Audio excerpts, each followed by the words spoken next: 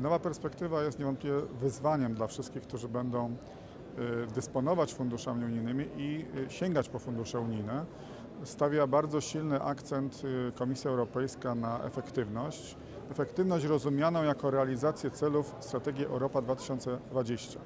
Sformułowano pewne cele rozwojowe dla Europy, bardzo konkretne, bardzo ambitne, które mają za zadanie doprowadzić do tego, aby Europa była bardziej konkurencyjna na rynkach światowych, aby odzyskała pewien impet y, rozwojowy, który zdaniem y, większości utraciła i trudno jest jej dzisiaj rywalizować na tej scenie globalnej. Y, Stąd takie narzucone bardzo duże wymagania, żebyśmy się skoncentrowali, skupili na istotnych elementach konkurencyjności i innowacyjności. Temu mają służyć y, inteligentne specjalizacje, czyli ściśle określone obszary specyficzne dla danego regionu, które będą najbardziej efektywnie budować rozwój i tylko tam będzie kierowany strumień środków y, z Unii Europejskiej, y, zwłaszcza tam, gdzie będą powstawać nowe propozycje produkcji czy usług najbardziej wyrafinowane technologicznie, te, które potrafią na światowych rynkach konkurować z najlepszymi.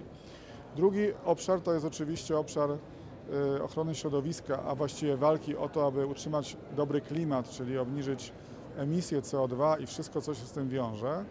Trzeci to jest kwestia włączenia społecznego, ponieważ zdano sobie sprawę z tego, że y, ubóstwo, brak pracy to jest y, bolączka całej Unii Europejskiej i trzeba sobie z tym problemem poradzić.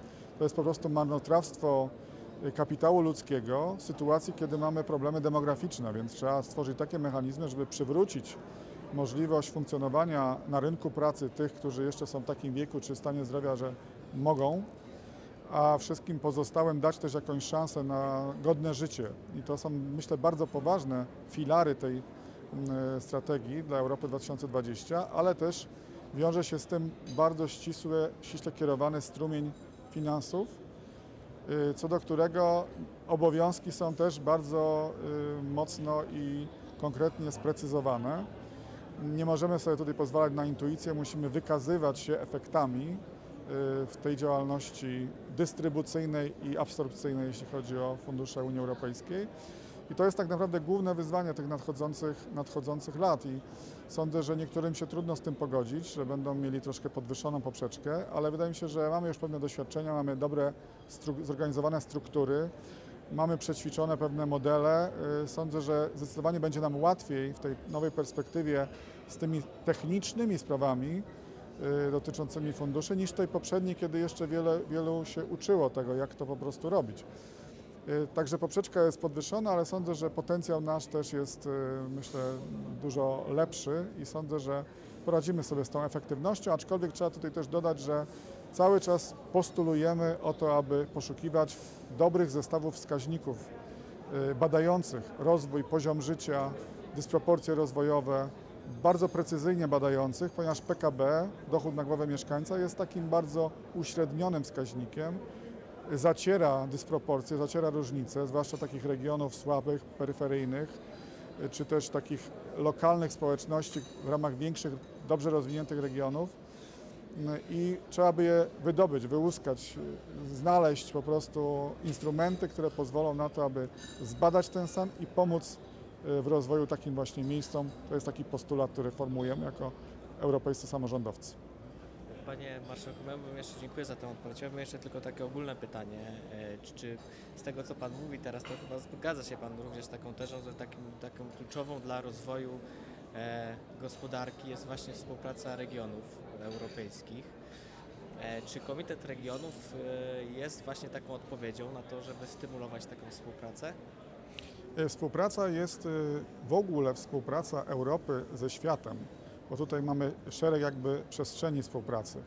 Y, Pierwsza to jest współpraca wewnątrz, y, między państwami, między regionami, chociażby współpraca transgraniczna, y, czy też troszkę szersza w tym, w tym układzie wewnątrz Unii Europejskiej.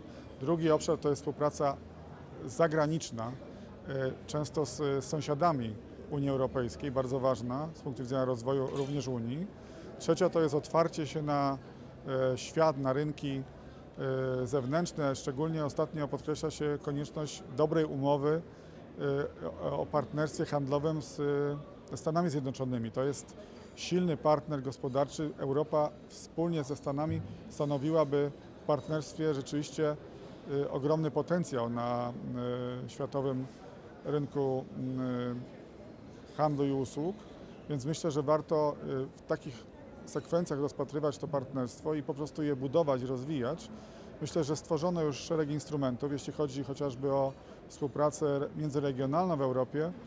Y, Są y, ugrupowania współpracy y, międzyregionalnej.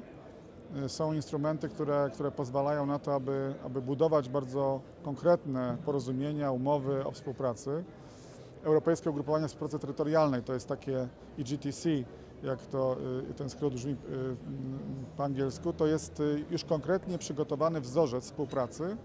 Wybiera się temat, wybiera się obszar zainteresowań i podpisuje się określone dokumenty, powołuje władzę takiego ugrupowania i on, ono jest w stanie ponad granicami y, budować projekt, realizować go i potem y, świadczyć pewne usługi czy realizować pewne cele wspólne dla y, regionów, y, niezależnie od tego, w jakim kraju istnieją. Myślę, że to, to jest dopiero szansa.